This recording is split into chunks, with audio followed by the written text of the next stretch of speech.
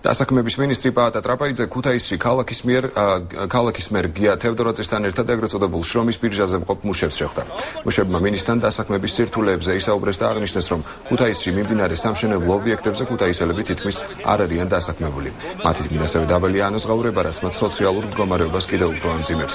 პაატა ტრაპაიძე სამუშაოს მაძიებლებთან საუბარში აღნიშნა, რომ იქნება სამუშაოს მაძიებელთა ერთიანი ბაზა, რომლის მიხედვითაც უმუშევრების გადამზადება დაიწყება, რაც ქვეყანაში დასაქმებულთა რაოდენობას ბაზას გაზრდის.